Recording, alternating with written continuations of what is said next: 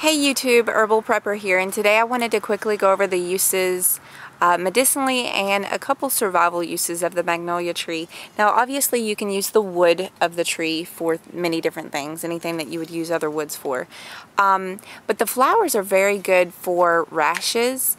Um, you can use them for medicines uh, or even perfume. Uh, the medicinal parts of the tree are the flowers, the bark, and the buds of the flowers.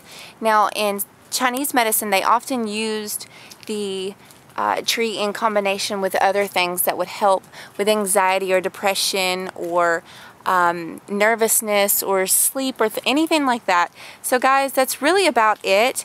But as far as the survival uses, now you see that they naturally have a curve to them. Now you can use this for um, uh, like a spoon um, you can use this for threading together because some of them are large. You can thread them together and actually transport things. So you would make a purse or a pouch. And then when you go foraging for berries, you have to excuse, excuse me, there's a car coming. But then when you go foraging for berries or whatever, you would thread a whole bunch of these together to make a pouch and it'll naturally curve underneath the bottom. And then you can, you know, put whatever you need or collect in it. Um, and then sometimes you can actually use these if you find a whole bunch that are very similar in size and shape. You can use them to uh, push the water away, so almost like rainproofing your shelter.